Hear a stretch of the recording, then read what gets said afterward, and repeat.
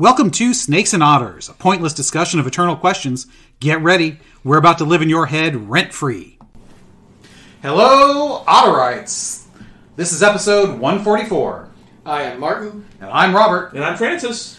All right, gentlemen, this is Pop Culture Rock Bands 2 Electric Boogaloo is the title of this episode. That's a Martin derived uh, title. Yeah, I mean that's kind of one of those pop culture things. Of anytime something's number two, you call it electric boogaloo for that movie Breaking Two. which had no reason to exist except they had to give it one. Yes. And that's why it was that. So, and this is just kind of that follow on to uh, what was about this time last year, I guess. Ish. Ish. Yeah. We do it about every year. Yeah, That's we right. did an episode where we just kind of kicked around about music and bands and Formative stuff for us. Yeah. Yeah. That's right. Yeah, Yeah. it's it's kind of tied to. We were talking about this in the show prep. 60s, 70s, 80s, heavier on the 70s and 80s. Yeah, Uh, it's kind of where we go, and that's you know yes, there's a lot of great stuff before that, a, a lot of great stuff after that. Uh, See, I, I don't recognize much after, but well, and I'm, I'm trying. both because I don't listen to it and because I don't like it. yeah, yeah. well, I mean, yeah. Admittedly, I haven't bought a new CD since probably 2001. Well, see, and you're showing your age there because nobody actually buys CDs anymore. Yeah. That's correct. There's, Yes. there's there is lots of great music out there. My children, my daughters in particular, although my son as well, they will introduce me to some really great stuff because they were weaned on what I gave them. Uh, all, all the stuff we're talking about here, they they knew that. So therefore, anything that fits within that mold, and generally speaking, they don't break out of it. They like that mold. This is something you'll like, Dad. They've never steered it wrong. They've really come up with some really good ideas that they've brought out Yeah. in, in, in various times. Yeah, uh, Bjorn and Ivar are definitely uh, falling off the tree here, or, or apples that didn't fall far from the trees. Um, they don't generally introduce me to anything new that I like. Uh, Bjorn right now is in this phase of listening to Japanese. Uh, what do you call it? Um, Japanese hip hop. Okay. All right. It's Well, unusual. uh, and, and Japanese rock type, but I mean, every song he plays for me sounds like a TV show theme song to me. So all I hear is the Love Boat, but in Japanese. So- sorry, Bjorn. I know, uh, I, but now Ivar though is he is a '90s boy. Uh, he is currently buying up vinyl. Uh, his favorite is Green Day. Oh, nice. But they, they were they were nineties and, definitely. and Nirvana, but he has he has Alanis Morissette on vinyl. Um, there's a, uh, a Nirvana poster now hanging up on the refrigerator in Nightfall, uh, the bar uh, at Studio uh, M. So we're very much uh, he's a very much a Lithium fan on the Sirius satellite radio. Yes. So you know this thing with uh, our children, uh, generally the uh, millennial-ish. hmm Uh, it's I find it interesting that they have glommed onto vinyl because yes, my son has two. you know I would not go back and buy eight tracks Well, I mean, I or mentioned this- cassettes. Yeah, you know, the ones on vinyl, and I mentioned this before. Bjorn bought a real live Sony Walkman disc uh, uh, tape player, cassette tape player off of eBay, and walks around Boo's campus with a real Walkman, just like we did in 1986. You know that's fine. It's bizarre to me. Well, that- there's yeah. yeah. Why would why would you? Do when you have a that? phone that you know has uh, not just several hundred gigabytes of storage, but also a data plan that lets you stream everything from the cloud. Yeah, because on a cassette, it's always the same order every single time. See, now that doesn't bother me. Uh, after if it's the- an album that I want to listen to, or if it's an album, or if it's a tape I put together, Yeah. mixtape. Well, that's correct. That's, It's, that's yeah, I mean that that's bothers what, me. the idea Mixtapes. of being you know a mixtape, but they're they're this generation's way of making a mixtape. he, he wants to he wants to do the output from his computer into a cassette deck. I was doing that Every in time because- 1986. yeah. but, but we were doing it from you know Uh, we were doing it from other cassettes and from vinyl. We Absolutely. were taking uh, what I used to do. Um, you know, you could do this even on video cassettes, and just run like a CD out to a video cassette in, right. Just, just to do the audio. And yeah. just do the audio and have six hours of continuous audio on a on a, a video Yeah. cassette tape, Right. and Absolutely. just pop it into VCR and and play. Now that's back. all on YouTube. Yeah, Well, it's not even that because you know he wasn't even doing videos; it was just the audio. Well, It's just the audio Yeah, from my sure, yeah. CDs, but it was a way that if you had people over, you didn't have to change the CD. You Right. could put the you 'Cause had back six then, you know, hours. you know, being able to, to afford a five disc changer was you know that's Yeah. and still that only got you like three hours of, of Right, music. you still had to change them out. Yeah, But this was, yeah, I mean, you could have six hours on the video cassette Uh, true. without having to touch it. Yeah. yeah. There- you know, again, like the cassette, though, it's always the same songs in the same order. That was the great thing about the multi disc changers is you could randomize it. Yeah. Of course, you'd have that you know 10 second pause as it you know rotated around the thing and tried to find a song that it wanted to play for you. Yeah. But uh, but you know, it's just it's kind of like that. Uh, you know, uh, let's all get the same tattoo so we can show how we're individuals. Yes. You know, it's I, I personally, I as much as I liked getting the vinyl in the day because, and I did it for this because I would then make a copy of the cassette uh, onto cassette Absolutely.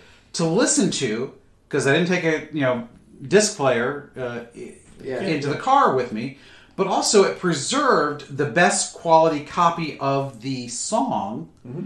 for later copying. You know, you, most of the vinyl that I have has only been played a couple of times Yes. because I didn't listen to it on the record. Well, I mean, that's what pirating meant before Napster and the internet. right? That meant- you copied other people's music, Right. From Somebody cassette would or vinyl. their cassette, and if you had a dual deck player, then You you, just copied copied. their cassette. I mean, that's Or, what or we did at one usually it was time. usually it was the vinyl you borrowed, and then you you would make. Yeah. a No, I copy it. mostly did cassettes by the time I got around. Yeah, to it. by the time you get into the to Into the nineties, us, yeah. everybody's doing Oh, by then, absolutely, cassettes. yeah. Yeah. But yeah, I mean, people would bring cassettes to work and say, "Here, take this home," and you would copy it and bring it back, and then Right. you would bring them one. Exactly, and you know that was, but we also recognized that by the time you, you know, made you know if you were getting a copy of a copy of a copy, that your sound quality was suffering.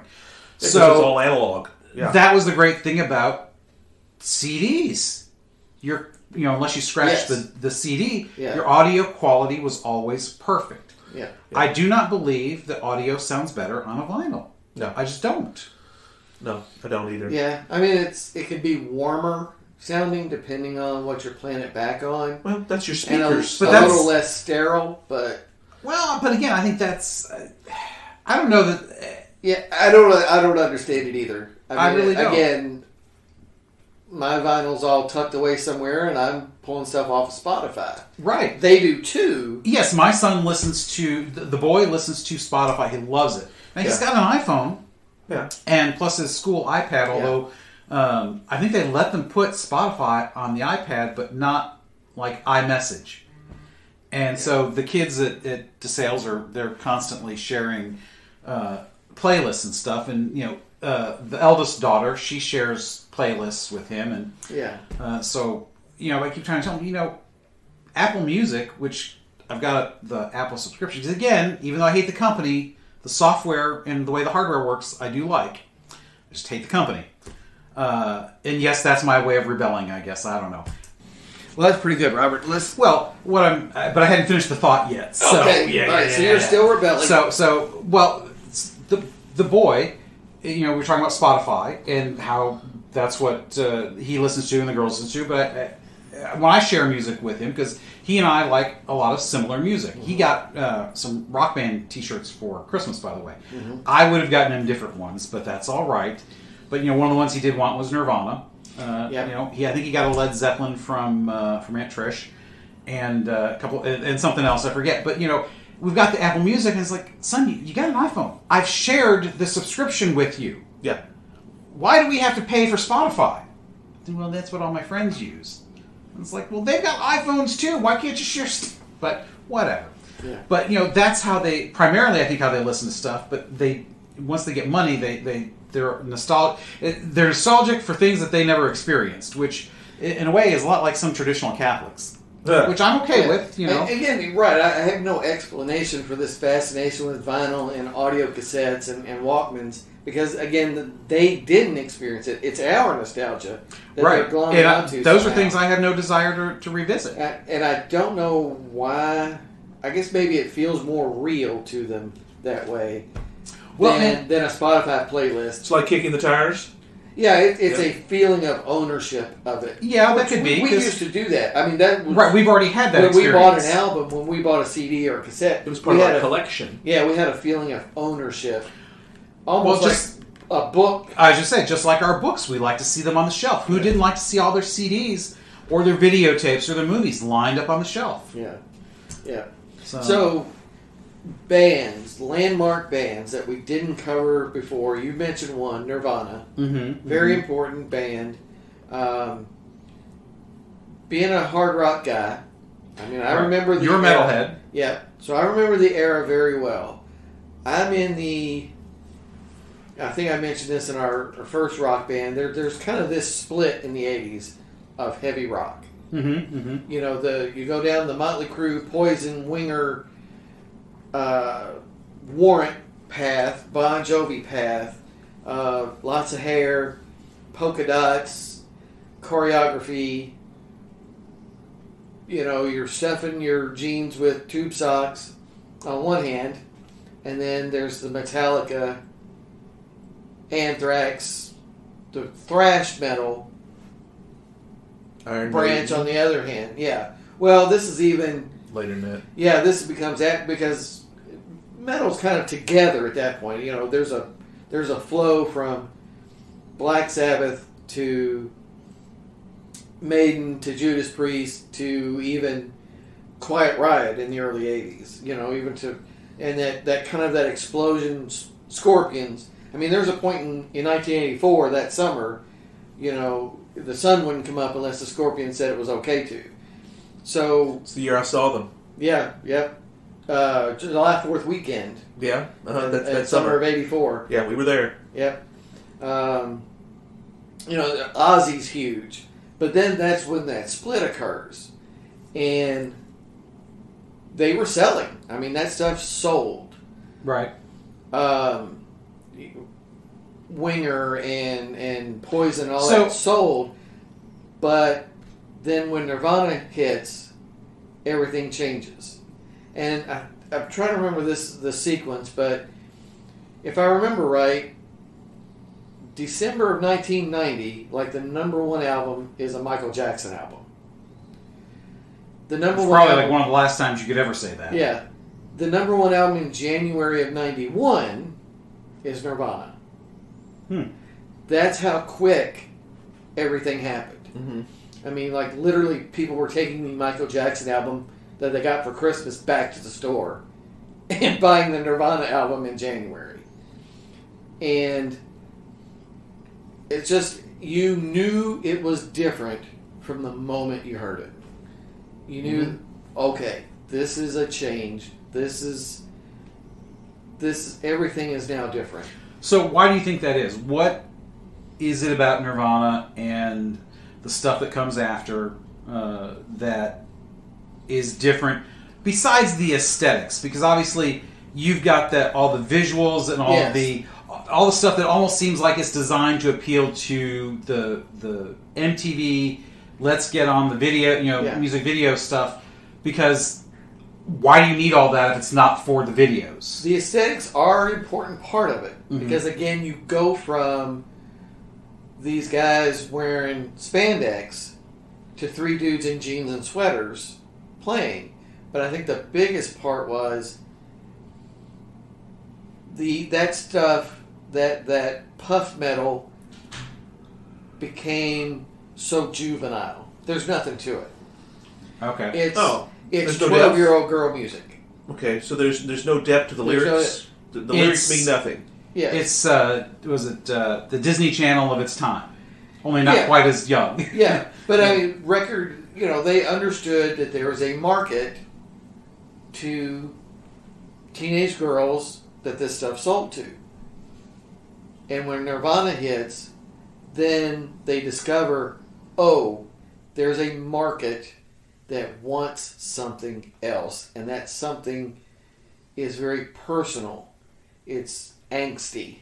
became the word. You Mhm. know, the '90s are full of angst. Why I don't know. I don't know because if anything, you know, It should have been a joyous time, E- but exactly. it's full of angst. But you know what? In a way, that's uh, that's almost the uh, the rebellion of its day. Yeah, Because you know when you think about uh, the '60s and the especially the early '70s and that drug culture, that's very much a rebellion against the the, the day, the, Yeah. the mores of the day.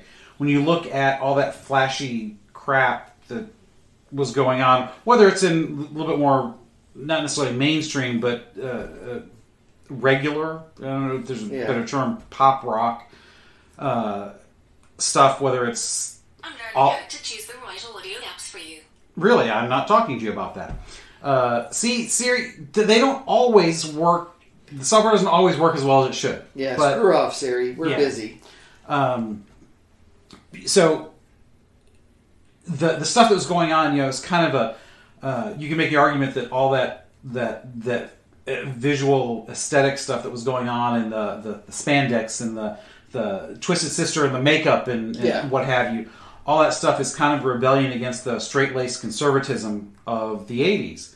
So then, when you have what is essentially a pretty damn prosperous time, uh, literally following on on the the '80s, and Yeah. you know you've got uh, this generation coming in. It's like, well, you know, gosh, what do I have to? I need to be worried about something. Damn Yes. Well, and you have all this music in the '80s, uh, influenced by the continent, by European!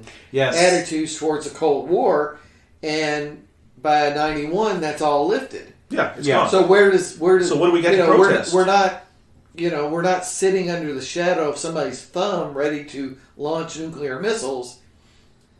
Hey, you, you silly punks! Stuff should be awesome, but they needed that angst, well, you know, that's and I think that that whether you call it angst or that rebelling against uh, or rejection, I, I should say, yes, a rejection of, of whatever is currently uh, considered mainstream, uh, which is usually you know by your your parents or their peers.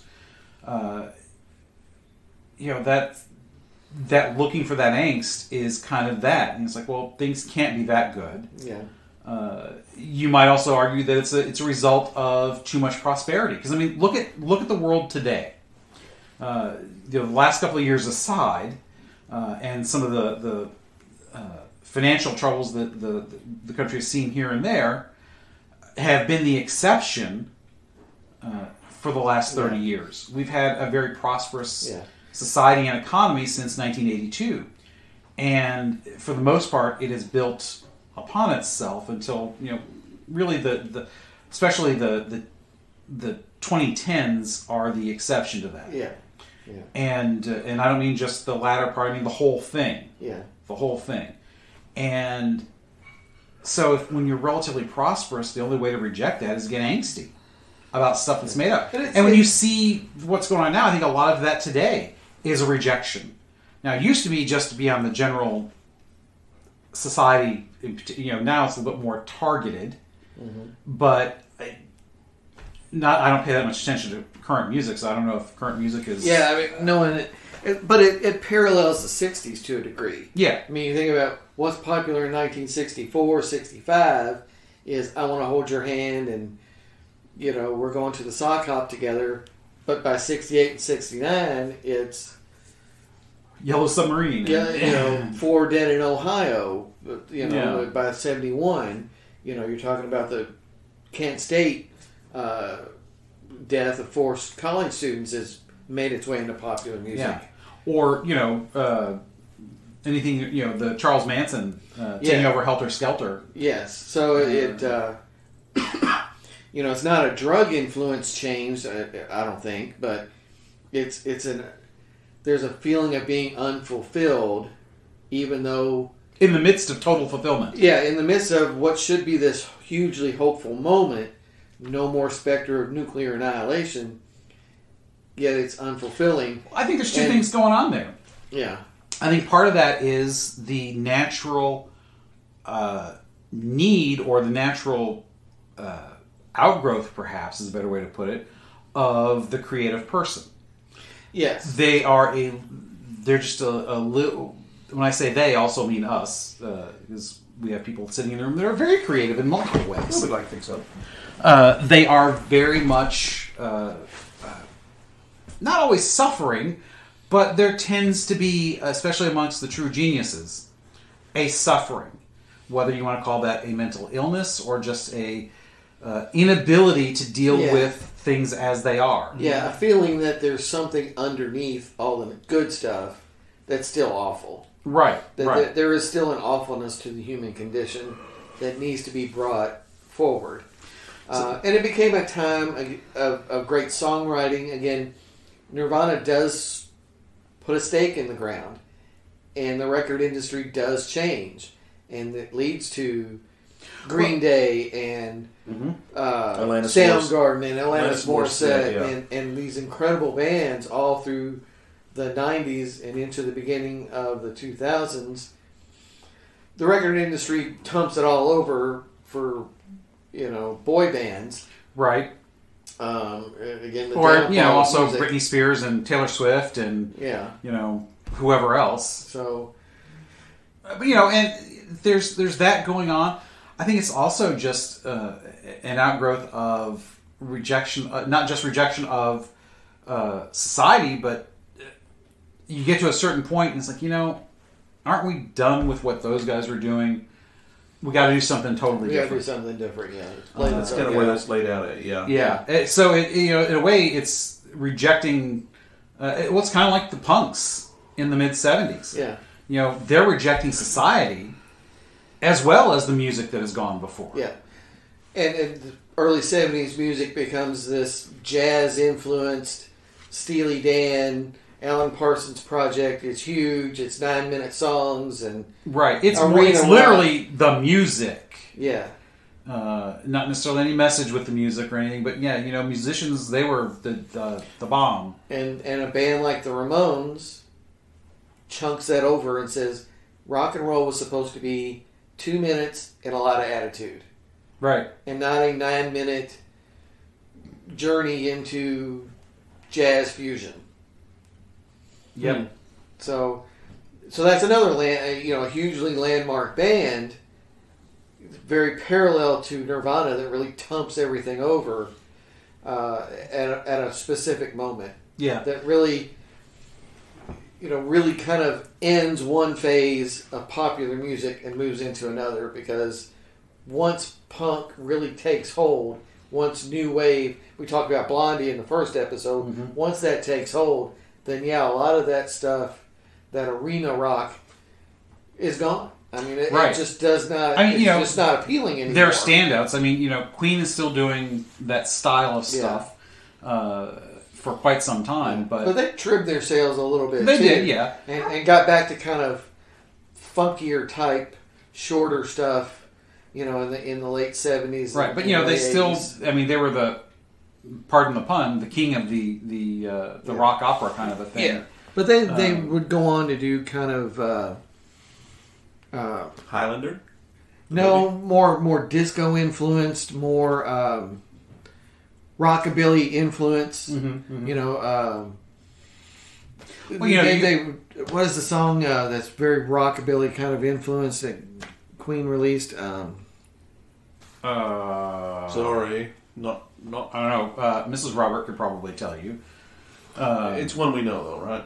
Yeah. yeah, yes, yes. I mean, you know, I, I mean, I've got a couple of uh, Queen songs in my uh, But, regular like, they're- playlist, they're- but that's you know, yeah. Fat Bottom Girls and Mr. Roboto.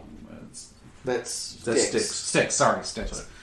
Um, what was the other one I got in my Crazy uh, little thing called love. Oh yeah, is yeah. the more rockabilly influence, and Okay. again, their album Hot Space is more of a kind of a dance influenced record. So they were able to But they- more from that. And they're still from that that age of theme albums, uh, you know. So, Yeah. but anyways, you know, it, honestly, I'm not a huge Nirvana fan. You know, I can recognize the, the influence, but again, by the time you know, really, once the '80s are over, there's not a. I mean, I listened whatever I listened to that was that I was listening to in college. Yeah. I continued to listen. Yeah, I mean, part of not this pick up a new you stuff. were already there because you were already a new wave. Punk That's guy. true. That's true. Uh, Uh-huh. which, you know, um, Again, I'm you know I'm in that branch with Megadeth, Metallica, Anthrax, heavy heavy stuff, and understood. Okay, this is going to be a huge turn, and then it follows on with Alice in Chains, Soundgarden, Pearl Jam. These these are other things that I I got into and appreciated and bought. Now I did buy some of those. yeah, I got, I got some hits. Pearl Jam. I got an Alice in Chains. I got some Gene Loves Jezebel, Green Day. Got a Weezer CD around here somewhere. you know. uh, in addition to the other stuff that I was buying. So that's I mean that that hits a couple of the biggies that were transformative. Nirvana, Ramones, Yeah. love the Ramones. Uh, I think we've already talked about Blondie and the Clash. Yeah. Again, transformative acts. So Francis, though, uh, Yeah, you've been you're very much silent. more of a traditional rock and roll Oh, guy. abs- absolutely. You're a you're a Fleetwood Mac. That's uh, very much. He's so. a corporate rock kind of guy compared to us. yeah. well, yeah, I mean, uh, uh, the, But there's you- a cou- there's a there's a couple major names we haven't ever mentioned that I think have some has some influence. One of them, which uh, they still have influence today, even even though one of them hasn't performed since 1980, and that's Led. The first one is Led Zeppelin, Yes. which was an enormous shift change. I mean, they essentially have 10 years, give yes. or take, Yes. and it they Yeah, are, that's about average, I think, for bands that make it big. You get about ten years. Anything beyond that is really unusual. Well, and that was, uh, and that the Rolling Stones as being an exception to that was Yes. another one we haven't talked much about. But I think Led Zeppelin deserves it almost deserves its own thing. They changed so much Yeah. because they are they are very lyric oriented and they are also Yeah. very guitar oriented. And, and they're one of the first ones to really be able to dictate almost to a record company what they were going to do and when. right.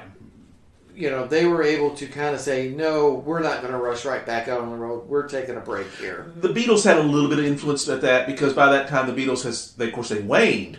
But Yeah. they were at the end. Beatles does. We'll do what we want. Thank you very much. Yeah. And Zeppelin comes along with their first album, and they realize everybody goes nuts for it because Well- there's nothing else like it. when bands start to say things like "We'll do what we want," Mm-hmm. is generally when they start their decline.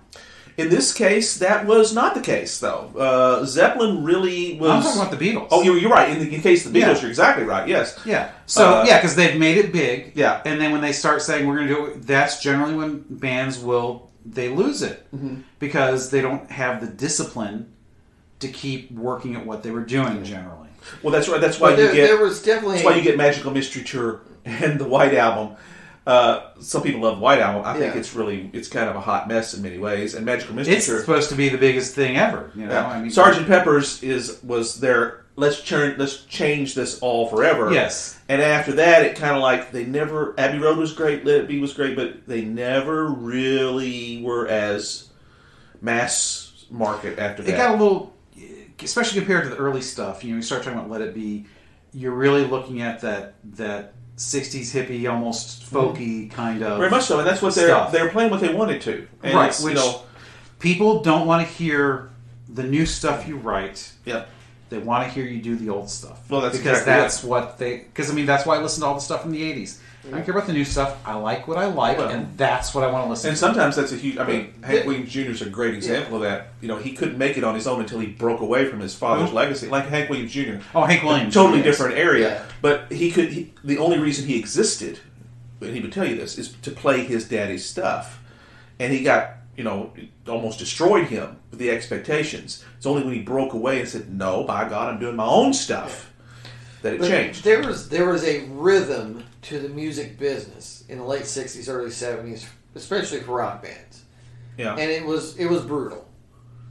Uh, Sabbath, Zeppelin, a lot of these bands went through the same thing of write an album, record an album, tour, write an album, record an album, tour, really without stopping. right. I mean, that's when you think You gotta about make, Led- you gotta maximize the money because that's Right. what the record companies were doing. right because there was They- no money in touring really back then. Right. Because you couldn't All that charge was- two hundred fifty dollars a seat Right. back the, then. the only reason you toured was to get people to go out and buy the album. to buy the new record. Right. So, you know, again, you talk about like Led Zeppelin public or uh, put out four records from like 1969 to 1971. Yeah. That's unheard of It's, today. it's just like Well, a lot yeah, of that was kind of pent up, but you're right. Yeah. Yeah, I mean, it's- but it's also it's it, it's pushed in that there's no way to keep you out there anymore if you don't. There's there, there's no going on tour without a record to promote. There's there's no way to make money if you don't have new material out there. So they- push these bands, and it burned them up. Yeah. Uh, you know, the, the Eagles are famous for this as well. I mean, they got pushed and made album after album after album throughout the 70s and just burned out to the point where they were ready to kill each other. Yeah, and, and they Uh, and they they didn't break up. They just took a hiatus for 14 years, as as Henley would say when they came back. Uh, but that's But I mean, there's a reason that album's called Hell Freezes Over. that's because it wasn't supposed to ever happen. yeah, Yeah, because they said "Well, we'll get back together when Hell freezes over. right. So, Well, eventually, you dangle a big enough check in front of somebody, hell will freeze over. Yeah. and, and they're kind of the band that started this idea of we could go out on a tour without new music and Because- charge a bazillion dollars a, a seat and make a whole pound full of money off of it. Well, Because they had the back. well, they had a catalog, back catalog, but there was also the pent up. Oh man, wouldn't it be great if Yeah. those guys got back wouldn't it be together? great if the Eagles got back together? right. because no matter because if you if you break up or you stop recording new music when you're on top Mm-hmm. then you guarantee that you can come back 10 or 15 years later and make a buttload of money Yeah. because people were waiting for the next if, thing if you aren't dead. Assuming, well, well, well that's why the Beatles never. that did. doesn't matter Yeah, and it's i mean the grateful Zeppelin dead i'm pretty sure they were dead the last five years they were touring Yeah.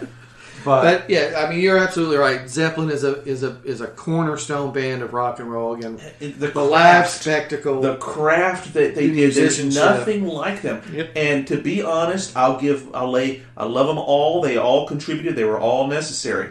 But really, if you want to lay at the feet of one genius, it's Jimmy Page.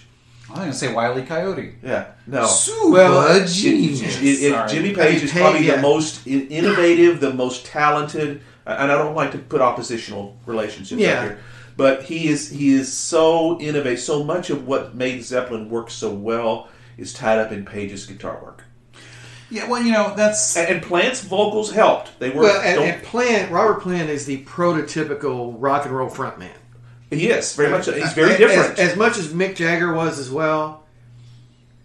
Plant's the first guy basically going out on stage without a shirt on. yeah, you know, and and, and being that guy in the blue jeans and and you know the the blonde, handsome guy with long hair in front of in front of the stage. with a very different voice. Jagger's got some of that too. It's, it's a very it's a it's a but it- unique voice. But Plant's even different from say other charismatic frontmen of that era like uh, Jim Morrison.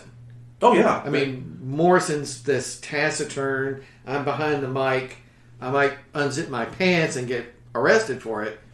But Plant's out there. He's performing he, he is. He in, is in a way that's different from the other guys. That's right, yeah, and, I, and you, you you you bring up a great band as well, the Doors, which we haven't even talked about. Yeah. Uh, just kind of Well, you know, you want to talk about uh, before we go there. Before we go there, let's do a bourbon break. yes, Let's we're, do a we're, bourbon we're break. at the at a So- good mark. Uh, I have changed the uh, bourbon that I am drinking uh, today uh, for this episode. I've been doing uh, the. Uh, uh, see, what did I do first?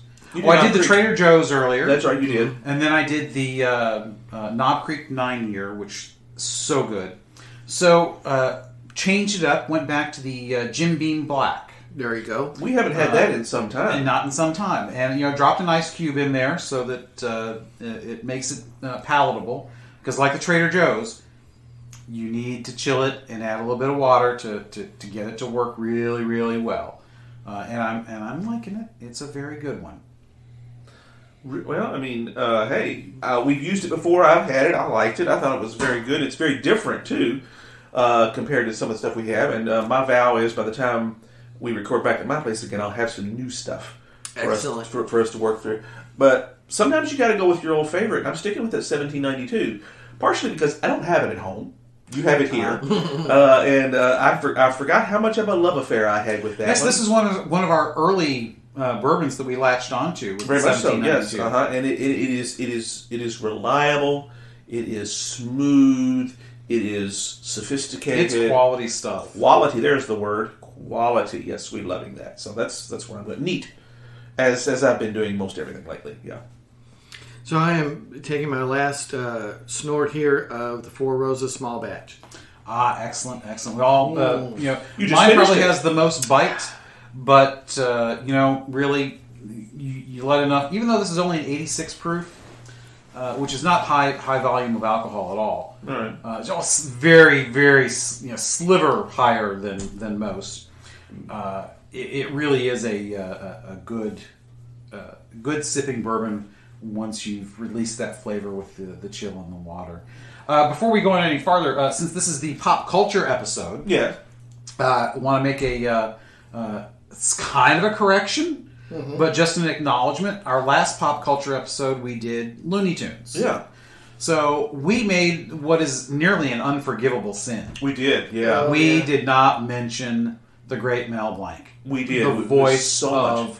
nearly every great character that Looney Tunes, had. and their I don't see had. how we One- got through yeah, that. One and of history's great voice actors. Yes, Yeah. probably the best voice actor ever. That's right. He could do so many different things. All, all of those uh, Looney Tune Merry Melodies voices are Mel Blanc. Yep, you know, uh, he, and he was just phenomenal. His son uh, later picked up the mantle and Noah, uh, yeah. did Uh-huh. uh, some of the voices for uh, later versions, and he was close, about as close as you could possibly get, uh, which is great. Yeah, I mean, genetically, you know, you figure that's probably your best shot, anyways.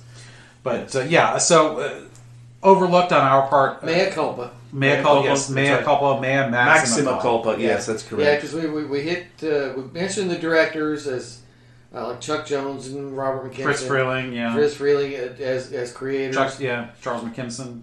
Um, and forgot that. But it's- but it's and he's consistent to- through the whole thing. Yeah, Yeah, in it's very general, important to it's- make- it's yeah, there's very like- little. I think very early on, uh, he was not involved, but Yeah. What really brought them truly to life was the great Mel Blanc. That's correct. I could have my timeline wrong there, but I'm pretty sure he was not the original voice on some of them. But at its height, he certainly was. oh, absolutely, yeah, absolutely. and it's just uh, you know that these characters were they other than what don't uh, no they all even Sylvester Tweety all of them all had voices so they're all anthropomorphized Yeah. Yes, as opposed to say Tom and Jerry from MGM or you know Pluto did Yeah. not have a voice. Yeah, e- even the, some of the Disney, Mickey had a voice, but it's not. You know, there's there's not this wide range of all these characters with voices the same way in, in Disney or MGM. Right, and they weren't all done by the same person. yeah. Yeah, That's 'cause- what makes him such a Yeah, great yeah. performer. So so yeah, uh, of course you know Goofy and uh, Daffy and and or, or I'm sorry Donald. Donald, Donald, Duck, yeah, Donald Duck and Scrooge McDuck. They're they're anthropomorphized and and have voices, but Right, just but- not but the the fact same. that one guy did Yeah. all of those Looney Yeah. Tunes voices, And he Just hated not same as carrots. the Warner Brothers. and he hated characters. Yeah, he hated carrots. He'd have to chew on them, and he'd spit them out after he would uh, after we would do that. It was just a not a thing for him. But uh, Yes, so uh, our apologies to the, the great Mel Blanc Yeah, and his family. salute to Mel Blanc uh, to go with our Looney Tunes episode. Yeah. All right. So uh, back to uh, Rock Band's 2 Electric Boogaloo. you know, so we spent a lot of time talking about Nirvana and and stuff that went on there in the late 80s, uh, early 90s with, with that changeover. And, you know, we haven't really talked about, really, I mean, it's still somewhat of a progression. You know, Nirvana and, and grunge. uh, Yes. you know, yeah, we didn't say really- the word grunge, but we should have. yeah, we should Right. have because they are the progenitor, really, of grunge as a popular movement. I'm sure they were not the first uh, garage band out of Seattle that, that became grunge, but obviously they're the, the first well known. Yeah, I mean, it was a scene where there were lots of the same bands, but at, like anything, once Nirvana sells, then Right. it was, oh, we could sell this, and they rushed in. The the record companies rushed in, signed basically every Seattle band there was, Right. and, and started pushing them because they were they were kind of afraid to sell this material at first. Right, Yeah. because it was different. Because, you know, and just like any corporate entity, they are risk averse. And when you consider how much money goes into Yeah. uh, producing an album and promoting it, that's Yeah. understandable. That's right, because Yeah. in many respects, they have to have a little bit against that because it's a continually evolving market. The visionaries get that. But if they were, you know, you would never have gotten Nirvana if they weren't willing to take some sort of a chance. Right, there are or a some Led that- Zeppelin, which was very different. Right. You know, you, But, to, you to give them a, a platform is is quite a bit of a thing Yeah. here. Yeah, I, But but The for interesting thing to me- Lip, oh, I'm sorry. Sorry, Rob. go ahead. Uh, for Zeppelin, though, there's kind of a known quantity a little bit because this is they're evolving from the Yardbirds and, and Yes. similar acts of that same period. Well, that, you're kind of going to a similar place where I only wasn't. Uh, uh, Different era, but uh, same it's thing. different era, but same concept. Because you're going to see this concept all the time. Uh, whenever there is a pivot, uh, that pivot often returns to an earlier era, and that's what grunge is. A lot of people will tell you grunge, uh, at the very least, has similar uh, themes, roots, however you want to put it. Whether they're trying to uh, uh, echo that directly, but a lot of people will tell you that grunge takes them back to early punk new wave. yes, yes. So- A- again, that tie like again to the Ramones, that tumping over the apple cart, and rock and roll is supposed to be personal and about your feelings and two and a half minutes long. Right. Not because yeah, when we're talking about grunge, we're not going to say personal and fun like we did with the Ramones, but you know, Yeah. it's because you don't associate you know Nirvana and fun in that same way. But you know, Yeah, the Ramon songs like "Beat on the Brat," yeah, you know, that's that's not a fun. Ha- that's not "I Want to Hold Your Hand." That's that's not.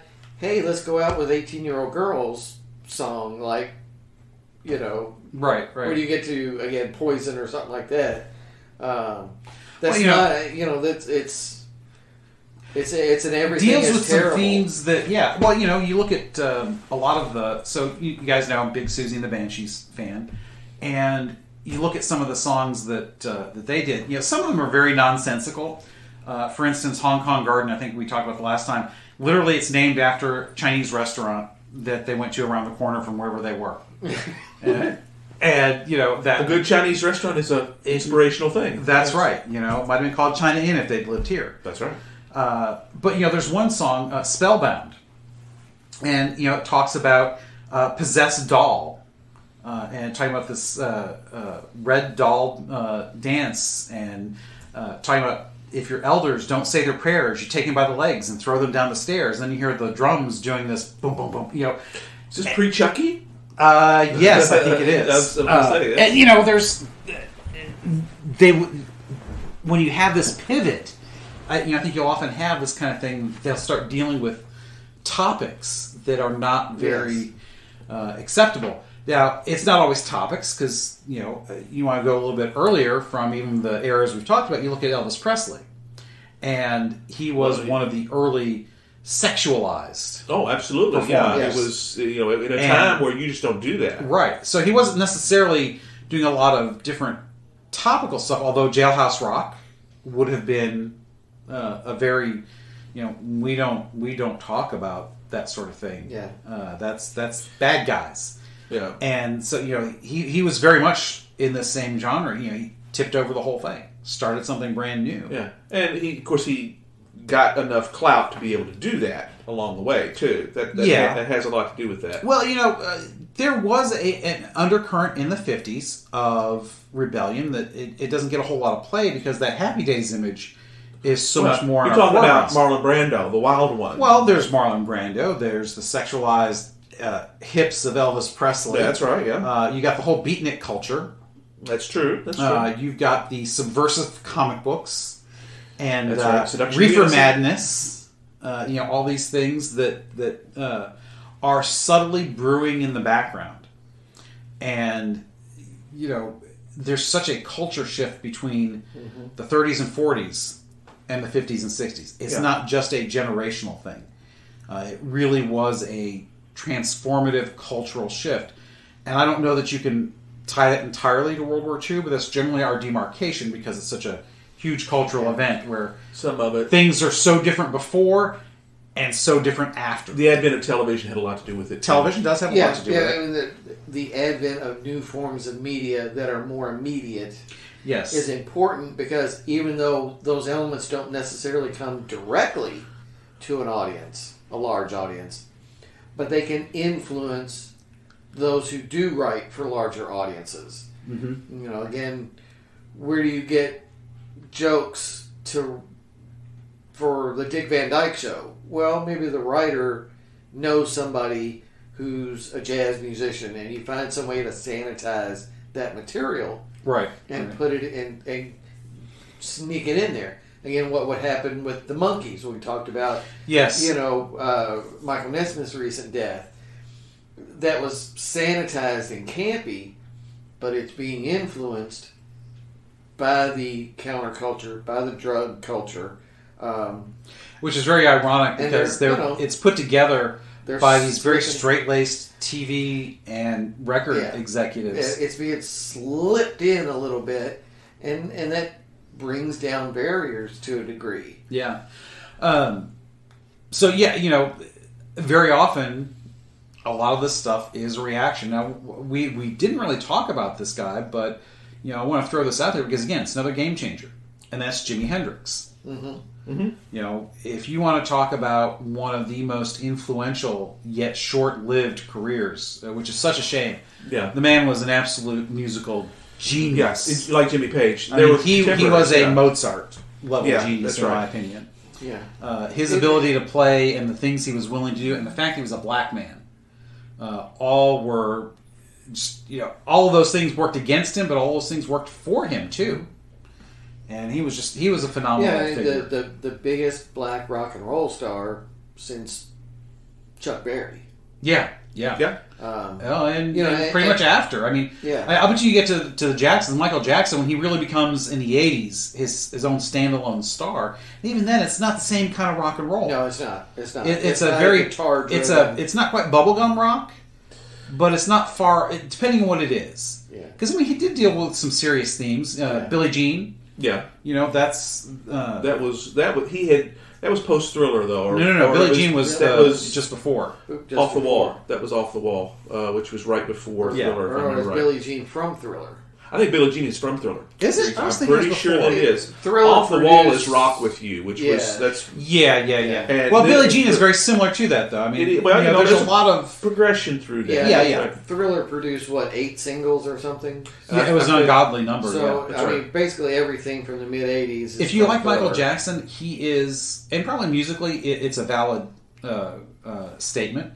Uh, Thriller is one of the one of the all around best albums you'll find, uh, as far as quality music on all the tracks, uh, whether it's your music or not. Now, I, I think I mentioned this last time we talked about this, but you know, I asked the boy, "What's your favorite, best all around album ever?" What is the answer? Synchronicity by the Police. Gee, I sense some influence here. I did not. I did You did not. not- you did he not came to that the- conclusion you on his not own. plant that seed. you did And not load the jury. I did not stack the jury. I did not.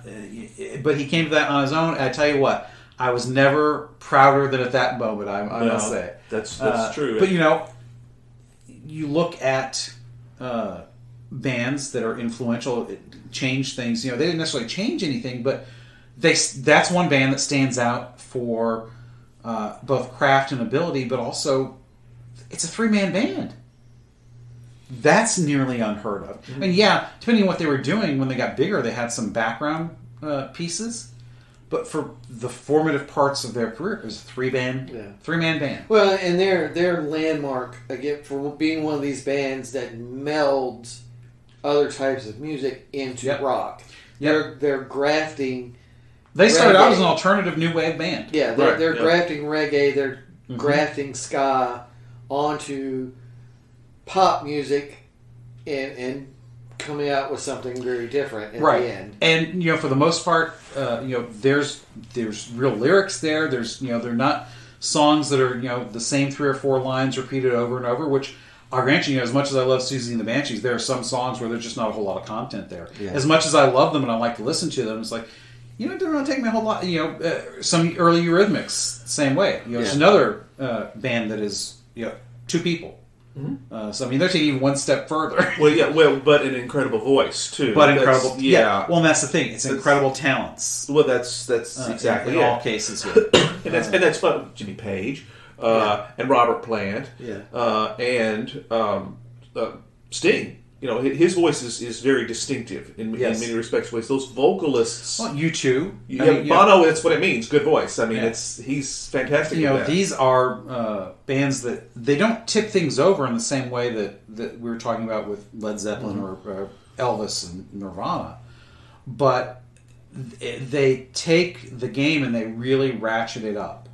They Yeah. perform. They are they are consistent, and they they bring home the bacon every time. Well, it, yeah. Well, and their you know, albums coming that- out are important. Well, they're important, but they're also a progression of goodness. You know, uh, this, again, this is a common theme for us. You know, we, we see guys that are uh, or women that are so good, and they just keep getting better and better, and that's always a pleasure to to, to see. You know, I always point out uh, Stephen King as a writer and his progression in the craft. Uh, any any number of the musicians that we've talked about here today and in, in the past, and uh, you know actors and actresses that we've talked about, all of them that keep coming up, they may not tip over the cart in the same way, but they move it along in such a way that it's you know they push everybody constantly. Yeah. In a They're way, very they're even more important than the Nirvanas and the the Elvises and the Led Zeppelins, in the sense that all of those that, that I just mentioned, they had a particular point in time where they were ext- extremely important, and then for the most part, well, for Nana Nirvana, they don't. Obviously, it's not. They're not a factor for very long because Kurt Cobain commits suicide. He's at the height of his game, and he commits suicide. Hmm. Well, I mean, There's there's, a lot of misery there. There's, There's- a lot of misery there. So his angst was real. there and there's there's precedent for that unfulfilled genius. You know, well, again, that's you know the the Elvis dies young, Hank Williams dies young, and Yeah. they're, they're, they're, that that plays into that Hendrix, mystique. Morrison, Correct. Yeah, Yeah, uh, there's many of Joplin. Joplin. Joplin. Yeah, Yeah, all, all the, old, those. the whole uh, age 27 thing. Yeah, yeah. Uh, you know, whether it's uh, you know the Big Bopper and those guys in the the plane crash, Buddy Holly, or yeah. Buddy Holly, Yeah. uh, Ritchie Valens, uh, or the drug induced ones. You know, there's you know, obviously the plane crash is a little bit more accidental. I mean, you can make the argument that drug drug in, induced ones are as well, but you still have to choose to do the drugs. right. Yeah. There's a, Uh, there's a but what drives you to that? But these guys, though, that stick around and have a longevity, they're not a flash in the pan, whether it's because they're a one hit wonder or because uh, they they their career comes to an end tragically.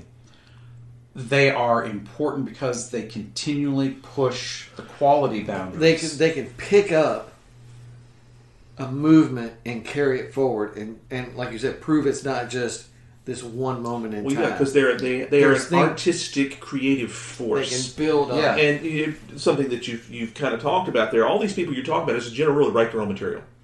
yes, That's Yes. there's a creativity that is Yeah. baked into those successful Yeah. stories that is in many respects what is what makes them great. Yeah. I mean, I know that there are many in in the music industry and Nashville country music is famous for this.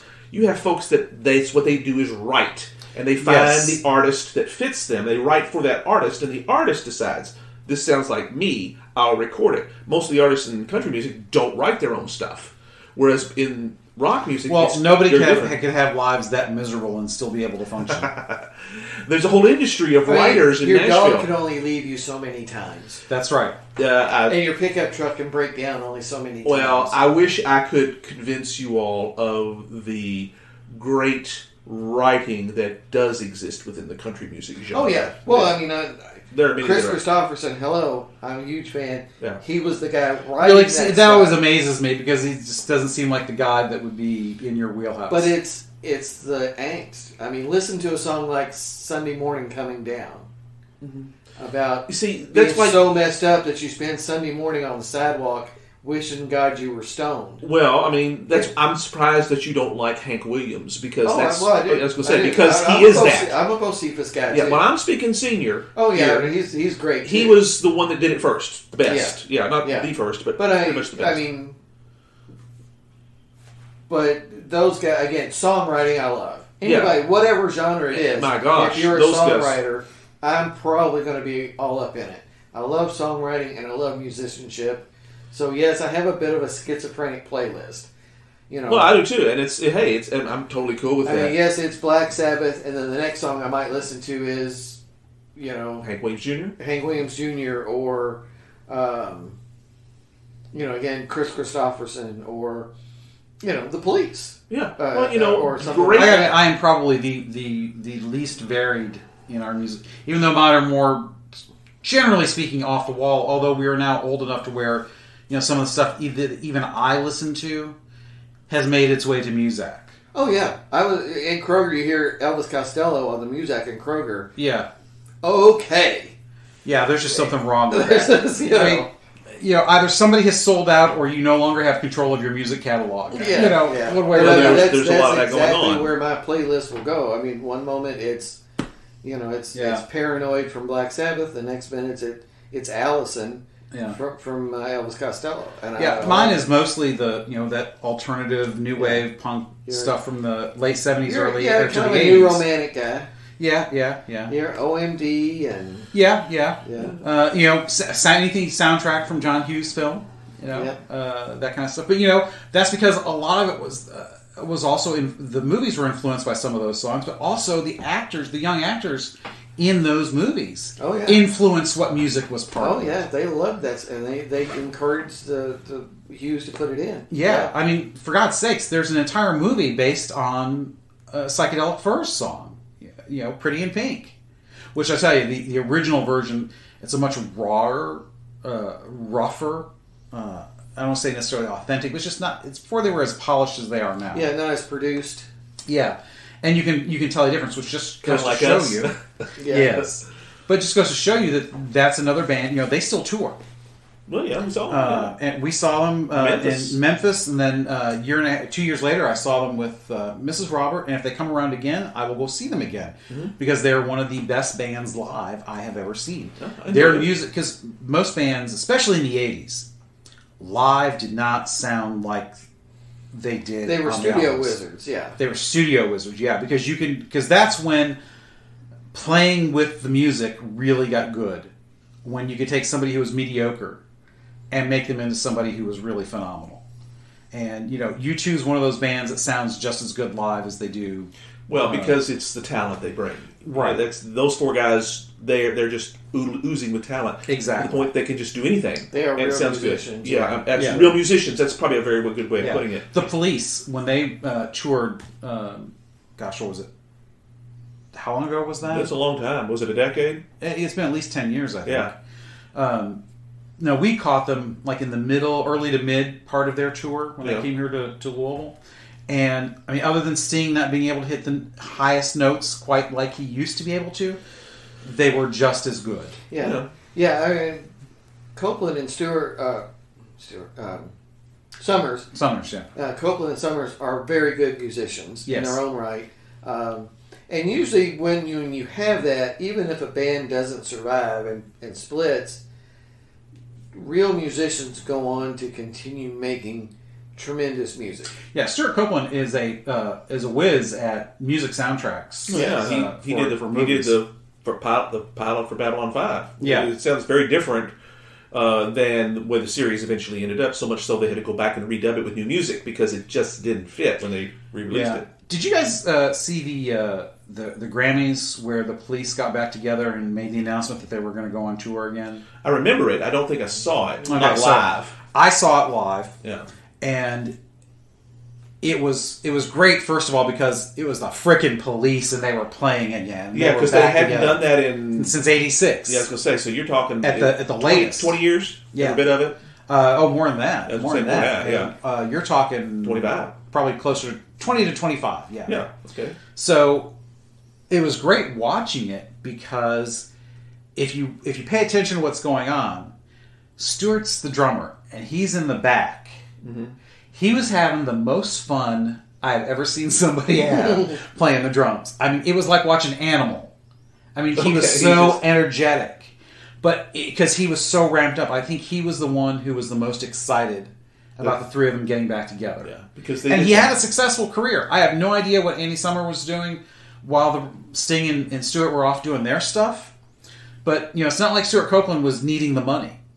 He was he was a He's busy, successful yeah. music, musician on his own, not obviously to the extent that Sting was, but he was so excited to be back together with his guys, yeah, and they- that was a joy to see. apparently they got along more or They did more, or less, yeah. I mean, you know, you spend that much time doing that much work uh, together, and you know, it's rock. You got egos, yeah. and you know, Sting wanted to do different stuff. I mean, he went very mellow, after the, his first solo album, which was very much a police-like album, Dream of the Blue Turtles. Dream of the Blue Turtles. Great album, by the way. It was. Great album. It was honestly the only one that I really liked. I mean, Mrs. Roberts, she loved his follow-on stuff. It didn't speak as much to me because it was a lot more mellow. Some of it's really great. But he, he's got the voice. He can. He does. He, He has a great he voice. that- Can, becomes kind of that Kenny G jazz influence. Yeah. Well, he's kind of like Rod Stewart in a way. He's got this ability to just lay it out there that you can't not listen to. It doesn't matter what he sings. He's more polished. He has more polished voice than Rod Stewart. Well, yeah, Rod still sticks to the to the rock side Well, he always but- sounds like he's you know gargling gravel at times. who Stewart? Yeah, uh, Rod Stewart at times. Sometimes, but you know, he did a a wonderful uh, collection of like Sinatra stuff because he's a crooner. Yeah. Stewart Yeah. is a crooner uh, at heart, and he, of course he's I don't know how old Rod Stewart is now, but he's got to be eighty, uh, and he still does whatever you know. He's Rod Stewart; he can do what he wants to. Uh, but he has been able to show himself as doing these Sinatra and uh, Mel Torme and stuff like that, and it was a gazillion seller. It was Yeah. a gazillion seller. Part of that's he's who got he the is because he, he's got the that guy that got him a look, but you know he brought home the bacon. He sang the the material and did a great job and broadened his audience because a lot of the folks that love that music they don't know Rod Stewart. Don't, No, and no. they're not gonna not gonna buy it. Um, He's a guy with big hair. Why would they do that? yeah. But they did then. So there's only one more I want to throw out here because I know we're, we we hit the hour mark. But Yep. um, uh, just one thing I want to throw out because he's a standout and his music catalog was just sold to Warner Brothers, and that's David Bowie. Yeah, That's correct. Yeah. Yes. Yeah, Uh, you, you, you have to. I think you have to. He's he's in a pantheon uh, of musician gods for a lot of reasons, not just the quality, but the length of his career, the risks he took.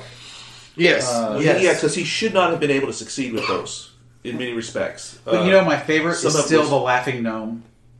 really? Yes, because it's just so whimsical, Well, I mean, I, and I just but love he that. really whimsy. is what he, we, somebody who transformed from Ziggy Stardust to that early '80s stuff. Yeah, well, he's It- teaming up with Mick Jagger, and they're doing "Dancing in the Streets." You know, Yeah. that's that's a very different type of Well, he did a little bit of acting. You know, I think we talked about him a bit the last time we did music, but Yeah. since we're talking about game changing, Yeah. kind of kind of thing, He's he is a landmark, very important performer. he is. And Yeah. you know, he was even doing music up, up near the end uh, before he passed. Unfortunately, uh, any of them that passed passed too early. But he did have a really good career Yeah. and just produced a ton of really good music. yeah, yeah, he was very good at it. Well, one last salute, somebody that we also talked about uh, that has recently passed that I don't think we've mentioned up to this point, but is again a, an important performer is Charlie Watts. Ah, Well, yes, yeah, we, we we had we were going to talk about the Rolling Stones. We'll have to save that for uh, Yep. for Rock Bands three, perhaps. Yes, yeah, Uh, because there's still more because I haven't Well, talked yeah. about Metallica or ACDC yet. Yeah. That we, we got Well, we, we did it briefly only because I mentioned that, that ACDC was my first concert. There you go. Uh, I think I mentioned that the last Well, time. you know, the best part about ACDC is uh, somebody criticizes them as being, well, all your songs sound the same. And the, the response is, no, they all sound like ACDC songs. In other words, we have an, an identity That's right. that Right. we are, we stay with. well, you know, and, that's and true. I their, think for their most, album sales and their concert sales support that Yeah. as a success. Yeah, Yeah. Well, you know- everybody likes their. and I think that's true for a lot of the bands that we personally listen to, whether it's Siouxsie and The Cure or David Bowie. Even for the changes they've all gone through their career, you hear those first few no- notes or a line, and you know from what it is who you know. Oh, this sounds. Oh, it is. Yeah, this is. you know and and that's that's a tremendous thing when you have somebody who has a long career and yet and you know transforms throughout the career and grows and what have you but still maintains the identity Yeah. uh, so that that's This always is, an this is thing who we are. yeah you know we we still didn't get past the early 90s for the most part But uh, but what is there to do, Pat? I, again, I mean, like, really, there's not, like, in my opinion. I- I'm- Once I'm you the boy bands, I think the- it sucks. the last new album I bought was probably Stadium Arcadium, Red Hot Chili Peppers. Okay. I don't know Have if I last listened to new it since bought was, but- 2001? No. Yeah, I don't know. I may have bought. Uh, I mean, I, I bought bands compilation discs. Yeah, then, yeah. But as far Um, as new music, I, don't- I can't think of anything I bought since then. The. Cure's Bloodflowers maybe was the last new one because I think that was in the two early two thousands. Um, because by then it was you know because even by then you were able to listen to stuff on Napster and Mm-hmm. uh, what have you, and everybody's ripping stuff and uh, what have you. But Yeah. Dogs and cats living together in mass hysteria. well, I tell you what, for the music industry, it was. It was. was. That's right. Uh, They've adapted. But you know what's interesting? Uh, just last thing, since we talked about performers, uh, but we have also talked about the streaming. Mm-hmm. And somebody was complaining. I can't even remember where I was having this conversation or watching it play out, but you know, you know all the, especially the artistes, are all about you know quality of outcomes, and equity is the new buzzword. It's like, well, you know, I noticed on the Grammys, not everybody got a, an award. We don't necessarily want equity there, now do we? Because you know, they used to complain about the record companies controlled everything and Yeah. how only a small number of companies, a small number of groups made all the money. Yeah. Well, now we've opened it up to streaming so that everybody has a shot, whether it's on YouTube or Spotify or whatever. Yeah. Your music is out there. Yeah, Now- if you can play and record a video, you can put it on YouTube and gain a following. Yeah, but it's even more concentrated. It seems, uh, according to what you know, you see on the, the who, who makes the money and what gets played the most. It's even more. Con- oh, you know what it was? I think I might have been watching like a Ben Shapiro uh, video, uh, which probably has just lost half our audience if they even know who that is. Uh, but they were talking about how streaming has just magnified because you know we have democratized music Yeah. but yet still the same people are making all the money. Which, as he was pointing out, what it is is that talent has won, quality Yeah. has won, Yeah. merit has won. Shouldn't that be what we strive for? As a consumer, don't we want the best? Well, as a consumer, but when you're on the bottom, or you think you are, because you know I find it hard to believe that this rapper making fifty million dollars a year is really oppressed. But you know, when you perceive yourself as the bottom or want to be seen as the bottom, no, we we want more of that equity, equality of outcome. But that's not what consumers want. We want it to be good, and that's what we look for. You know, We want what appeals to us. Right? Yeah, what what speaks to our experience or our whatever. sometimes it's also we love the craft too. We're willing to. If Well, we, that, if that speaks to us. I Yeah, mean, well, yeah, that's right. I mean, It's- I don't listen to a whole lot of Hendrix, but I, or uh, Eric Clapton. You know, two of the greatest guitarists. Yeah, You know, different kinds of guitarists, but yeah. but two of the greatest guitarists you will find. Love Clapton. Yeah. And yet, I, I mean, they're not the only things I listen. But I recognize the great quality. that's right. Yeah. And they're out there. Yeah, and the, yeah, that's what I, all the ones we've talked about today. Uh, is they have quality, and if they, some of them, if they'd lived longer, who knows what would have happened? Well, eventually they get fat and addicted to barbiturates and die on the toilet. I knew he was going to go there. Probably. Well, you know, some variation. You know, I mean, if Kurt Cobain had not committed suicide by gun, he probably would have committed suicide by some other way. Well, he actually was in fairly poor health. Oh, was he? Uh, um, a lot of stomach problems. Now, how much of those stomach problems are brought on by heroin abuse and which are other things? But he, he was in a great deal of pain. Uh, he did have a lot of issues, health issues. Um, he tried to medicate them himself rather than uh, listen to medical advice. Well, you know, that's the bane of most people. They try to self medicate Yeah. uh, serious issues with things that only temporarily take the pain away. Yeah. yeah. Yeah. Uh, just uh, follow on to that. Um, speaking of, of, you know, survivors and going past and, and Kurt Cobain, um, Dave Grohl, of course, moves out of Nirvana to found Foo Fighters, uh, has written a book, and Oh, yeah. Ivar bought a copy already, and The boy is reading it. yeah, He got it for Christmas. yeah, yeah. Um, Uh, what's it called again? I Uh, cannot remember the name, but of course, you know, Grohl's very close to his family, and Yeah. I think that figures it's a very it. short title.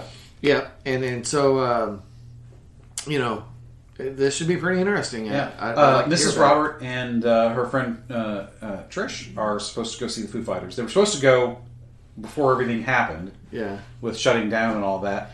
And I think they're. I think it's August is when they're going to be touring again, where they Yeah. can go see them. yeah, yeah. So So yeah, the Dave Grohl book, and and Ivar has a copy as well. So Awesome news. Awesome Yeah. news. It, it was like you bought a book. Yeah. You're not a book guy. Yeah. So, Wait, a book? You mean like a real book? Yeah. So, but he that's you know he he loves Dave Grohl and Well, good. he wants to read all about it. Good, And- good, and good, That'll good. be a lot of that history of of Nirvana. You know, that's always good. I mean, not that specifically, but it's always good to, to learn more about what has gone before. Indeed. So, Francis. Next time we're going back to history, guys, and we're continuing. Are we gonna go medieval on y'all? I've been waiting to say that. Okay. It gets- Yeah, good. good. No, I I like it. I like it. Your Marcellus Wallace is on point. That's exactly right. Yeah, that's right. Because we're going to talk Middle Ages again. And one of my favorite subjects, actually, I've been doing a lot of research on this. I think I'm captaining. I don't know. Is the Crusades. There you go. It's something that strides like a colossus over the period and affects so many things. It deserves some Oh, it, scrutiny. it strives not uh, like a colossus, not just over the, the period of the time, but today still. Oh, that's right. It still has repercussions Yeah. today. So, of course, we need to talk about that. So, that's where we're going next time.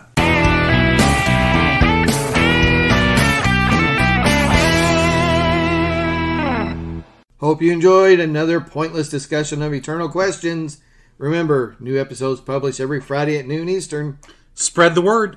We're on all the major podcast platforms. And leave us a comment or review because that helps others find us. We're on Instagram, Twitter, as well as our website, snakesandotters.com. I'm Martin. And I'm Robert. And I'm Francis. Join us next week, same snake time, same otter channel.